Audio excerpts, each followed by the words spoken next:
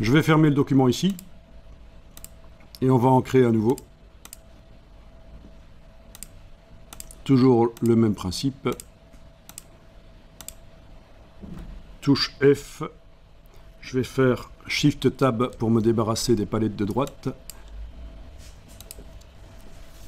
Au niveau de la gestion des palettes, il y a des choses à apprendre, mais nous, euh, on fait les choses simples. Euh, on les fait disparaître et on va les rechercher au fur et à mesure dans la, le menu fenêtre. Ça peut être intéressant de connaître les raccourcis qui sont mis en face si vous devez souvent aller chercher une palette. Un petit aide-mémoire sur papier à côté de l'ordinateur, au début, ça peut aider. Ce qu'on va faire ici, c'est du texte qui sert euh, à montrer euh, une image. L'image va être vue à travers le texte. Donc, vous allez taper un petit mot avec l'outil texte.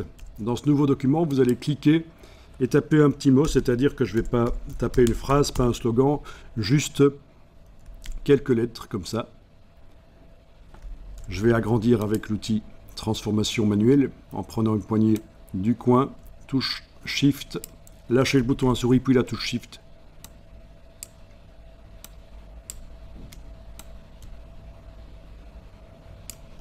Bien.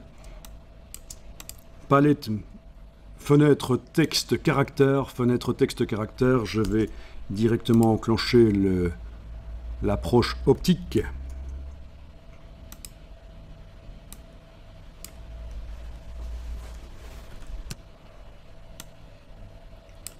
Bien.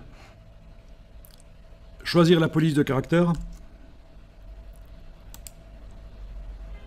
Et alors ici, on va choisir une police qui soit est déjà d'origine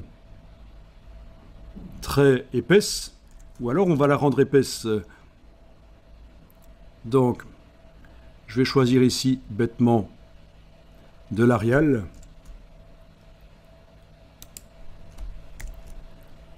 Est-ce que cet Arial-là a des variantes? Oui, parce que sous le mot Arial, il peut y avoir différents fabricants. Voilà. C'est une police qui n'est pas très conseillée parce qu'elle elle est tellement vue et revue. C'est ce, qui, ce qui correspond à Helvetica sur les Mac. Ça s'appelle Arial sur les PC. Voilà. Et donc la ligne de base est sélectionnée là, bien. Ah oui, j'ai un rectangle qui apparaît parce que c'est l'outil de transformation manuelle qui est activé. Mais si je repasse avec l'outil flèche noire, le rectangle n'est plus visible, mais le texte est toujours bien sélectionné comme il faut. La ligne de base, en tout cas, voilà. Donc, la variante ici de la police, on a du bold, donc on peut choisir du bold. Vous avez des polices avec beaucoup plus de variantes que ça. Et alors les polices les plus c'est ce qu'on appelle les polices OpenType. Mais celle-ci n'est pas OpenType. OpenType, c'est une nouvelle technologie de police avec énormément de, de paramètres qu'on peut modifier, de, caractéristiques qui peuvent être modifiées. Euh, c'est ce qu'il y a de mieux, c'est la Rolls des polices. Donc voilà, vous pouvez euh, quand vous aurez le temps, tapez OpenType et vous allez trouver plein de sites web, notamment ici c'est celui de Adobe qui explique quelles sont les caractéristiques des polices OpenType. Donc, typiquement sur euh, Dafont, le site que j'ai cité tout à l'heure, vous ne trouverez pas de police OpenType. Sur Google Font non plus, je ne pense pas. Alors, les OpenType, euh, ça permet quoi? Eh bien, ça permet de faire des choses assez particulières, notamment quand vous avez un titre, euh, quand vous utilisez une police pour dans un magazine, suivant la dimension à laquelle la police est mise, le dessin des caractères peut être modifié pour optimiser la facilité de lecture, en fait. Donc voilà une des choses euh, qui peut être faite avec les polices OpenType. Euh, donc, généralement, ce sont des polices qui euh, s'achètent parce que c'est pas du bas de gamme. Voilà. Mais donc celle-ci est très simple, cette police que j'ai choisie, c'est pas de l'OpenType, clairement, il n'y a que quatre variantes, régular italique, bold, bold italique. Donc, mais ça va marcher malgré tout. En matière de typographie, vous avez les puristes et euh, vous avez euh, les autres, euh, voilà, les graphistes dont j'estime que je fais plutôt partie, les graphistes moins puristes en matière de typographie. C'est voilà, c'est une question de spécialisation en fait. Alors, l'approche de père ici est mauvaise à certains endroits, on est bien d'accord, mais malgré tout, on va faire avec. Donc, déjà, c'est une police épaisse, on pourrait faire apparaître certaines images à travers et arriver à voir ce que ça donne. Malgré tout, on va euh, faire encore mieux que ça, on va l'épaissir encore plus. Comment? Je vais vous montrer. Vous allez voir, ça va être royal, ça va être la fête. On va faire du, foie gras. Euh, non, sauf que ce sera du faux gras, vous allez voir. Alors, euh, ici, c'est donc du texte, texte qui masque une image. C'est ce qu'on va faire. Voilà, j'enregistre le document sous ce nom-là.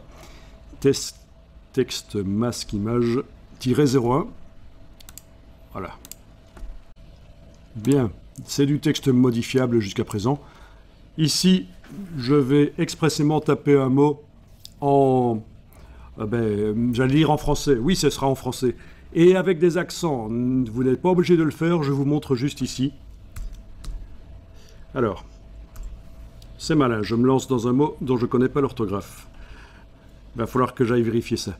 Euh, ok, j'allais voir comment on écrit ça en réalité. Euh, est-ce qu'il m'a... Euh, ok. Normalement, j'avais mon correcteur orthographique accessible là. Bon, d'habitude, j'utilise un correcteur orthographique très haut de gamme qui s'appelle Prolexis qui fait correcteur grammatical, orthographique, euh, euh, suggestion de synonymes, analyse de contexte, etc. Bon, le, la Rolls des correcteurs euh, grammaticaux orthographiques qui est quelque chose qui s'achète et qui se met et qui est accessible.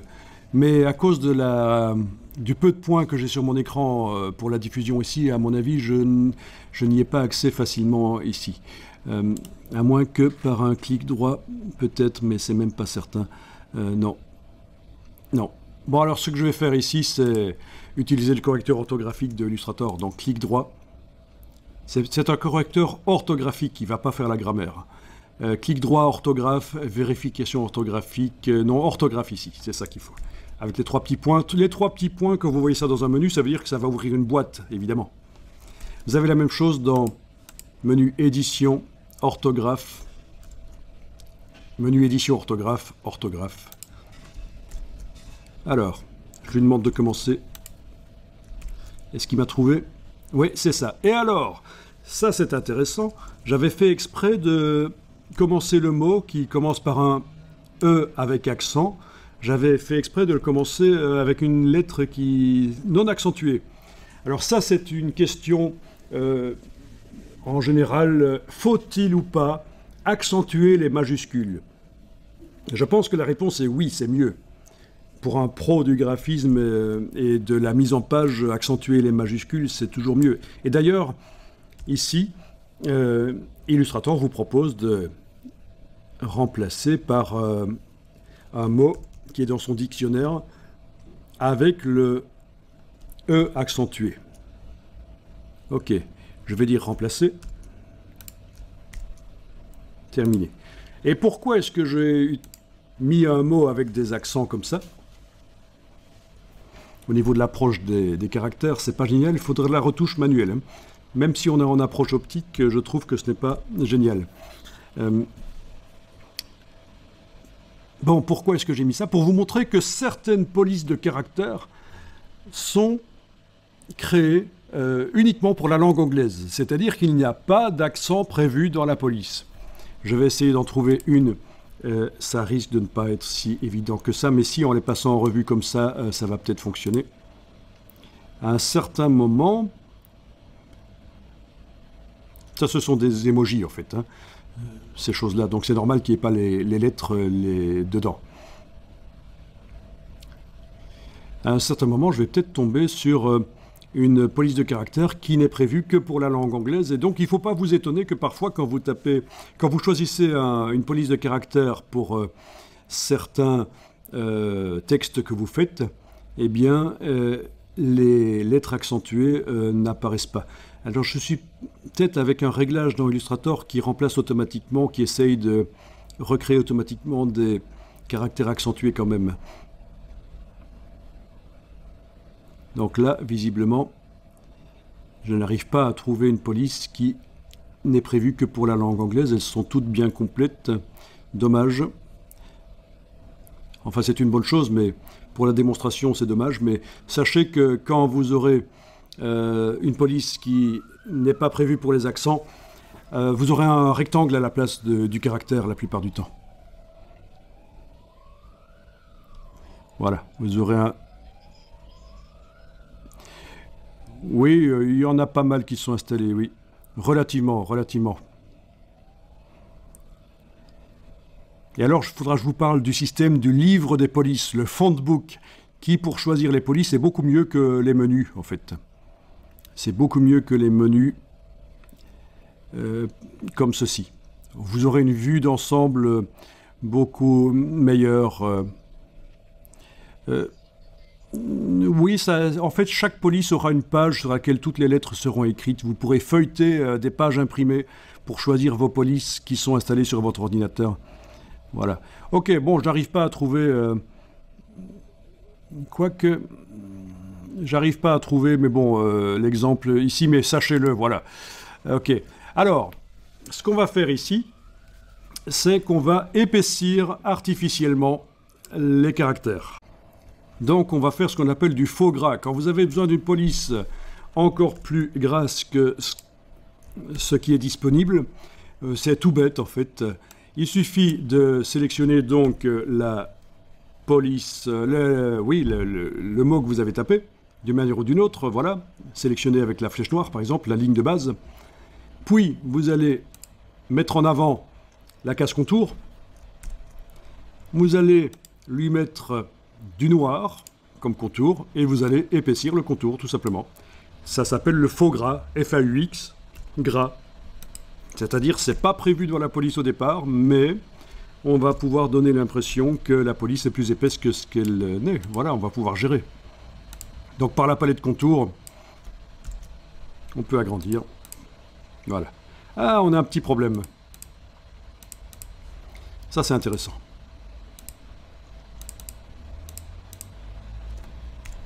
On a quand même un petit problème. Je ne sais pas si vous allez le remarquer, vous allez me le dire.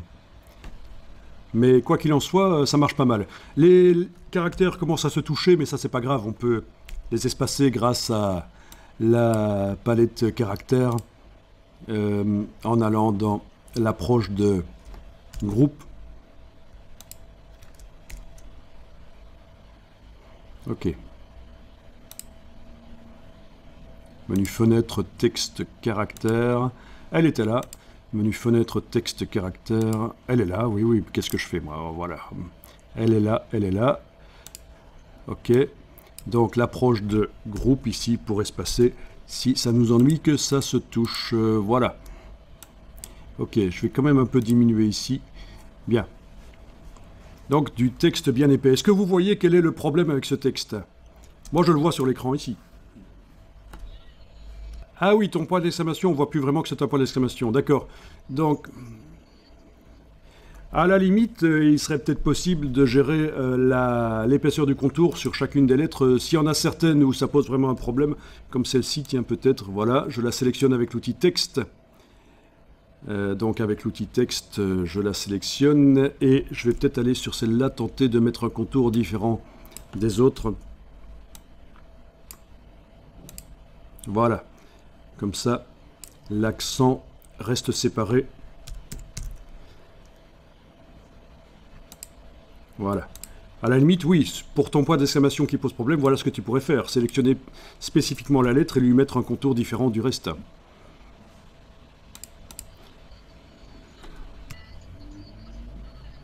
Tu... Et alors, il a la même couleur Ok. Ici, vous voyez ce qui se passe chez moi? Le contour que j'ai ajouté n'est pas noir profond, alors que le caractère a une couleur noir profond.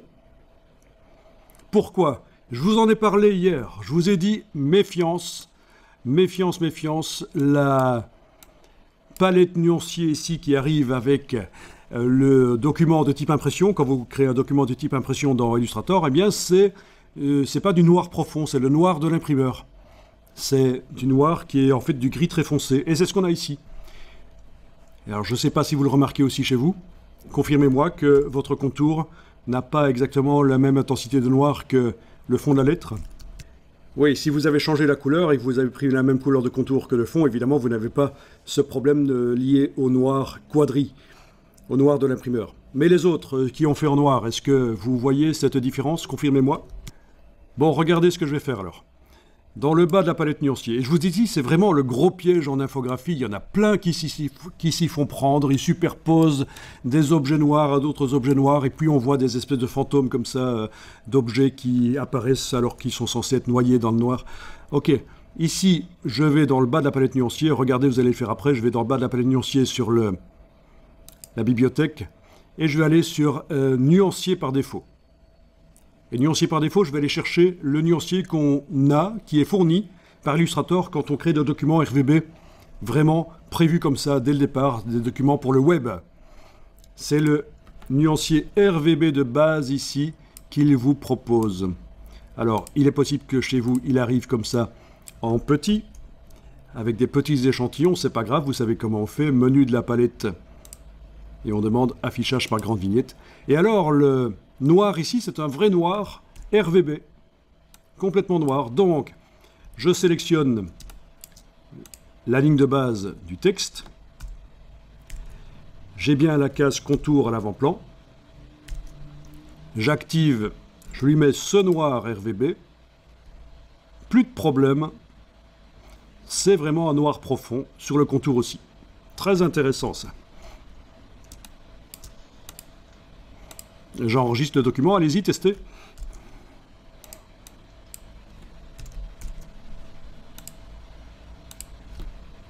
On va aller chercher une image et on va tenter de la faire apparaître à travers le texte ici. Donc vous allez sur euh, un navigateur web. Je vais aller dans Bing. Je vais taper ce que je cherche. J'ai tapé Mountain, par exemple. Évidemment, il faut choisir des images qui sont plutôt texturées. On pourrait aussi choisir de la texture. Il y a plein d'images de texture qui sont disponibles sur euh, le web. Mais euh, je vais prendre une montagne, en quelque sorte, c'est une texture. C'est deux textures. Ça va être le ciel et la montagne. Je pense que ça, peut, on peut considérer que c'est ça. voilà. Il ne faudrait pas prendre une image euh, trop détaillé pour euh, faire apparaître à travers le, texte. Euh, ceci dit, euh, je vois ce genre d'image de groupe de musique, ça pourrait peut-être passer avec des lettres bien épaisses et peut-être moins de lettres. on pourrait, à travers 3-4 lettres, montrer correctement une image qui montre malgré tout les personnages. Mais voilà. Alors, je vais passer à la partie image. Voilà. Je vais filtrer, parce que là, toutes les images que je vois, il y en a peut-être qui sont sous copyright.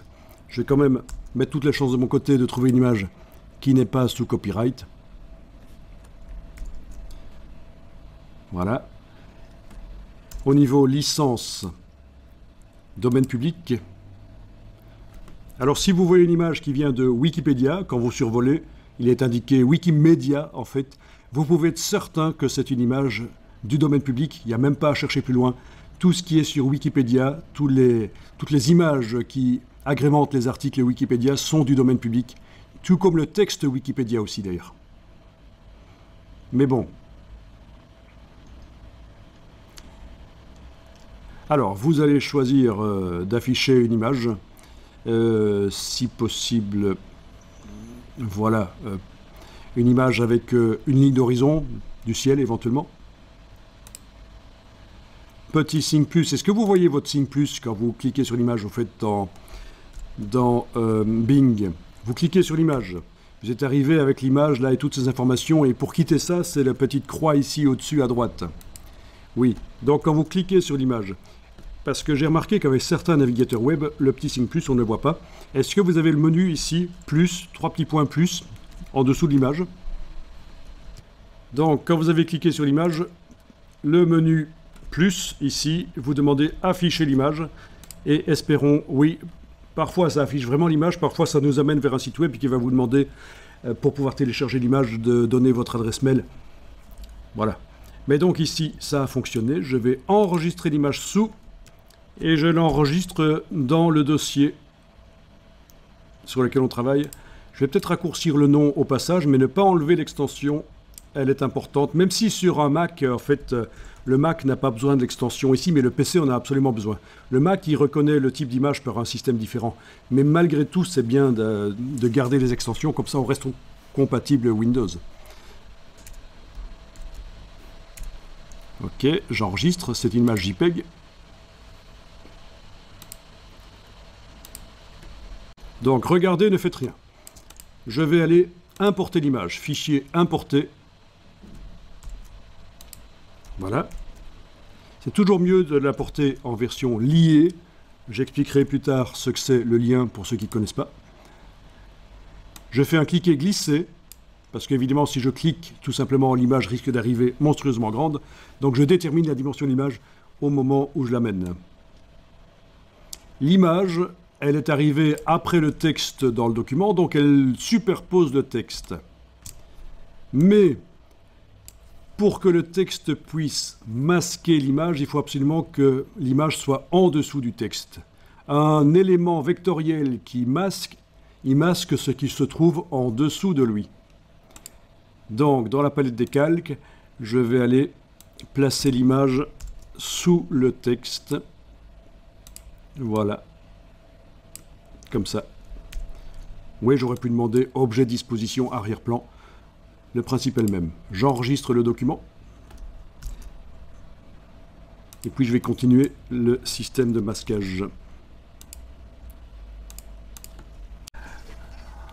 Ok. Alors dans la palette des calques, je vais verrouiller le fichier lié pour l'instant parce que je veux pouvoir travailler sur le texte uniquement sans que l'image se sélectionne. Ne faites rien, d'abord regardez, regardez euh, ce qui va se passer. Je vais vectoriser le texte, donc euh, le texte doit être sélectionné avec la flèche noire comme ça, voilà. Je vais euh, le vectoriser par, essayons par le menu texte vectorisé, c'est une première chose, texte vectorisé. Oui, alors le problème c'est que le contour ne s'est pas euh, vectorisé, comme vous voyez. Ah oui. Alors, pour ça, je vais éventuellement essayer objet décomposé, qui est une espèce de vectorisation du contour. Voilà. Je commence à obtenir plein de choses bizarres. Mais c'est tout à fait logique ce que j'ai obtenu. Si je regarde dans le groupe, j'ai plusieurs petits groupes, petits sous-groupes dans lesquels il y a le contour vectorisé. Donc on ne peut plus modifier l'épaisseur du contour. Ça, c'est par objet décomposé que j'ai obtenu ça. Objet décomposé, ça a vectorisé le contour. C'est très intéressant, on, l'utilisera plus tard aussi. Et le, ça, c'est ce qu'on avait obtenu quand on avait vectoriser le texte, menu texte vectorisé, c'est le fond.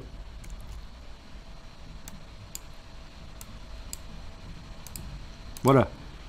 Il s'agit juste ici, justement, ceci, du caractère qui est juste là à droite sur mon écran. Donc si j'enlève l'œil en face du contour vectorisé, voilà, il disparaît.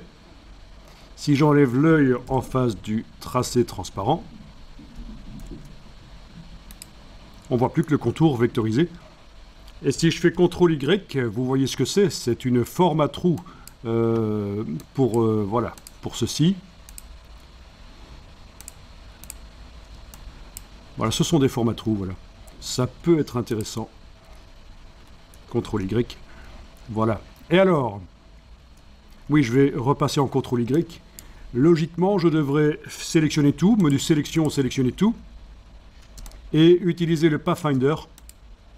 Le Pathfinder, euh, menu fenêtre Pathfinder, ne le faites pas, je, vous ai dit, euh, je vous montre juste, menu fenêtre Pathfinder, et réunir. Et voilà, on dirait que ça a fonctionné. J'obtiens finalement le texte vectorisé avec sa composante contour qui épaississait, le faux gras. Ok. Évidemment, s'il n'y avait pas eu le faux gras, s'il n'y avait pas eu euh, l'épaississement du texte par l'ajout d'un contour, il aurait suffi de faire euh, menu texte vectorisé et c'était bon. Bien. Alors là, je vais enregistrer ça sous un nouveau nom et je vais recharger la version 3 juste après. Donc je l'enregistre sous la version 4. Je ferme. CTRL W. Je fais fichier, ouvrir les fichiers récents. Je vais aller ouvrir la version 3. Ok. Donc le texte là n'est pas vectorisé. Il est toujours modifiable. C'est du texte modifiable. Donc ce qu'on peut faire, qui est plus simple, parce que vous avez vu, c'est quand même pas mal d'opérations. On peut tenter euh, ce qu'on a fait précédemment c'est pixeliser ça et le revectoriser. Je tente. Objet pixelisé. Donc j'ai bien sélectionné, d'abord il faut que je le dise avec la flèche noire, j'ai bien sélectionné le texte bien sûr. Le texte. Donc objet pixelisé. OK. Donc j'ai des pixels blancs et noirs. Et quand je zoome, je vois que ce sont vraiment des pixels. C'est une image. D'ailleurs, dans la palette des calques, on a une image. Donc là, je vais dans menu fenêtre, vectorisation de l'image, et j'enclenche la vectorisation. Alors il ne voit pas l'image malgré qu'elle est sélectionnée, je vais donc devoir cliquer à côté pour la désactiver et revenir cliquer dessus. Là, il la voit. La boîte est accessible, je peux cocher la case aperçue pour enclencher la vectorisation. Il dit que la vectorisation d'être un peu lente sur cette grande image, c'est pas grave. Je fais OK.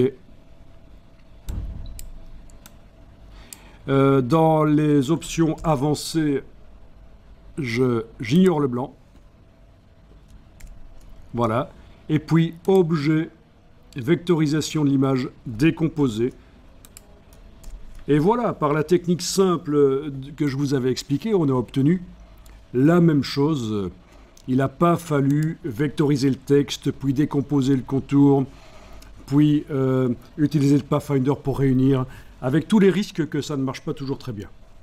Alors pour répondre à ta question, tu demandes le euh, décomposer, ça, correspond à quoi en fait euh, Décomposer, c'est chaque fois que on a un, un paramètre modifiable dans Illustrator, notamment là c'était l'épaisseur du contour qui était modifiable, et je vais le montrer éventuellement sur un nouveau document, ce sera plus simple. Vous ne le faites pas, je, le fais juste ici pour vous montrer. Voilà. Par exemple, je prends le crayon et je vais faire un trait. Donc il n'y a pas de fond, mais il y a un contour noir que je vais épaissir par la palette contour. Donc c'est un paramètre modifiable l'épaississement ici du contour. Avec la touche majuscule, je clique pour aller vite, pour épaissir vite, voilà. Je vais lui mettre une couleur autre que du noir, voilà. Donc contour de cette couleur-là sur cet objet modifiable au crayon. Waouh, je recommence. Bon, alors il n'a pas l'air de bien vouloir le faire. Quels sont les paramètres ici? 20 pixels pourtant Ok, oui, voilà, donc euh, modifiable. Épaisseur du contour modifiable, on est d'accord. Eh bien, si cet objet, je le décompose, objet décomposé, je vais obtenir une forme fermée. Voilà. Et évidemment, il n'y a plus de possibilité de modifier l'épaisseur. C'est une forme fermée. Donc je suis passé d'un état modifiable vers un état figé. Euh, c'est vectorisé en fait. En quelque sorte, le décomposer, c'est vectoriser un effet modifiable. C'est c'est vectoriser un paramètre modifiable. À quoi ça sert? Eh bien, ça sert quand on ne peut plus euh, faire évoluer un objet. On est obligé de faire ça si on veut lui faire certaines opérations. On est obligé de faire ça en fait. Et vous allez voir que ça, ça peut être utile de connaître ce système-là. Et donc voilà, sur le texte dans l'autre document là, c'est ce que j'avais fait la première version. J'avais vectorisé le texte et j'avais dû, le contour était resté là, modifiable, l'épaisseur était modifiable. J'avais dû décomposer le contour. J'avais obtenu des formes, euh, voilà, dont l'épaisseur n'était plus modifiable. Puis fusion de tout avec le Pathfinder, donc bien compliqué. Donc quand on connaît Illustrator, euh, ça marche. Sinon, la technique euh, là est meilleure, je pense, pour vous. Même si, pour un puriste, il est possible que le dessin des caractères ait un tout petit peu été modifié par la vectorisation, par la pixelisation pour la vectorisation. Ça, euh, voilà. Alors, je vous propose de faire ça. Allez-y. Donc, vous allez verrouiller le fichier lié, vous allez euh, sélectionner la ligne de base du texte.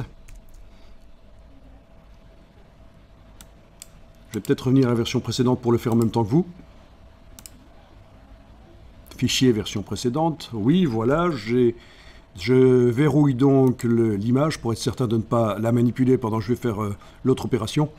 Je sélectionne le texte. Je vous rappelle qu'on n'est pas dans Photoshop. Pour sélectionner le texte dans la palette des calques, ce n'est pas en faisant ceci. C'est en faisant la cible, en cliquant sur la cible. Voilà. Même si, dans la palette des calques, un autre objet est activé comme ça, ça n'a aucune importance. Le fait est qu'on active, euh, on sélectionne par la cible. La ligne de base du texte est sélectionnée. Il s'agissait donc tout simplement de faire objet pixelisé. OK. Dans la palette euh, vectorisation, il faut enclencher l'aperçu. Donc menu fenêtre, vectorisation d'image. Et éventuellement, vous allez devoir cliquer à côté et recliquer sur l'image parce que la palette ne, ne, la voit pas. En faisant ça, cliquez à côté, recliquez sur l'image, il est certain qu'elle va la voir. Vous cliquez sur la case aperçu. Dans les paramètres avancés déployés, là, vous choisissez ignorer le blanc et vous décomposez objet et vectorisation de l'image décomposée. Et encore une fois, voilà, bel exemple. Décomposer la vectorisation, ça veut dire qu'on passe d'une vectorisation modifiable vers une vectorisation qui n'en est plus une ce sont des vecteurs. La palette, dès qu'on décompose la palette vectorisation d'image, tout devient grisé, rien n'est accessible, c'est plus une vectorisation. Voilà.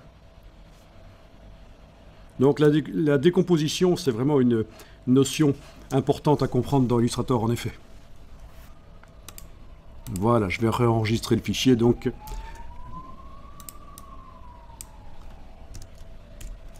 Version 5. Voilà. Et dans la palette des calques, vous devriez trouver... Où est-elle? Dans la palette des calques, vous devriez trouver un groupe suite à la décomposition de la vectorisation, un groupe qui contient des tracés, dont certains tracés, si nécessaire, sont des euh, tracés transparents, c'est quand il y a des trous, quand ce sont des lettres à trous.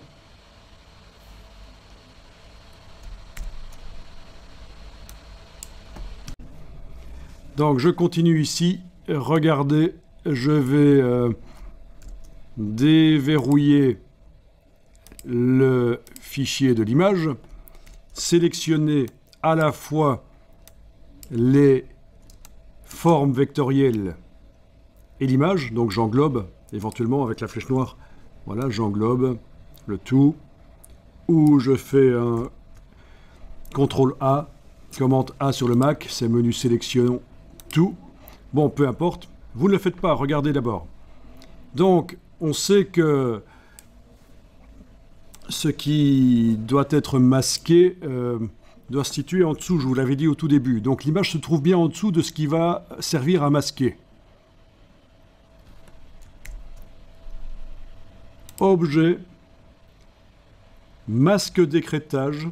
C'est juste à côté d'une fonction qu'on a utilisée précédemment, le tracé transparent, mais ça n'a pas grand-chose à voir. En fait, objet, masque d'écrêtage, créé. Ça, c'est quelque chose qui existe depuis très longtemps dans Illustrator. Et voilà. Et ça ne fonctionne pas. Ça, c'est typique. Donc, j'annule. Pourquoi ça ne fonctionne pas? Parce qu'en fait, il faut faire une petite opération sur nos formes. Donc je vais reverrouiller le fichier. Et pour arriver à masquer avec beaucoup de formes, il faut toutes les réunir en un tracé transparent. Donc, je vous rappelle que j'ai verrouillé le fichier l'image, c'est important, sinon s'il est pris dans la sélection pour l'opération suivante que je vais faire, c'est la cata. Donc, il est verrouillé, j'englobe toutes les formes, voilà, elles sont toutes sélectionnées. Je vais demander objet tracé transparent annuler. C'est ce qu'on a fait tout à l'heure sur le logo. Quand on voulait intégrer le carré, objet tracé transparent annulé. Donc, toutes les formes sont... Euh, les trous, les trous sont devenus des formes, sont sortis, et les lettres à trous n'ont plus de trous. D'accord? Ça, c'est le, trou du B. Ça, c'est le trou du E, ça se voit. Donc euh, voilà, il n'y a plus de tracé transparent et si on zoome, on voit que le trou du E, c'est du noir, euh, le trou du B aussi, voilà. Une fois que tout ça a été... Euh, il n'y a plus de notion de tracé transparent, avec tout ça, je refais un tracé transparent. C'est ça qui n'est pas toujours facile à comprendre. Pour pouvoir faire un tracé transparent avec plein de formes, il faut que ces formes ne soient pas elles-mêmes déjà des tracés transparents objet tracé transparent créé.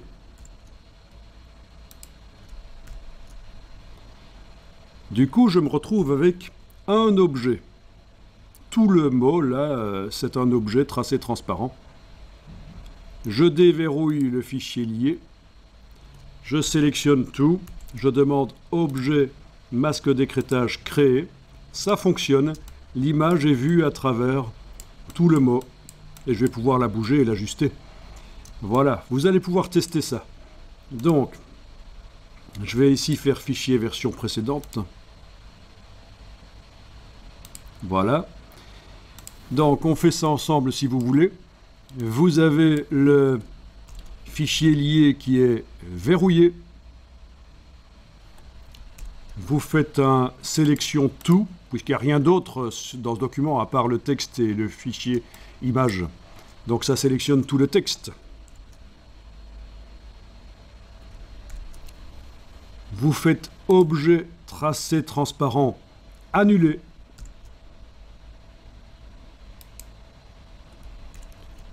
Vous faites objet tracé transparent créer. Voilà, ça c'est la première étape. N'obtenir qu'un seul objet tracé transparent on réunit tout en un seul objet tracé transparent, tout ce qui va servir à masquer.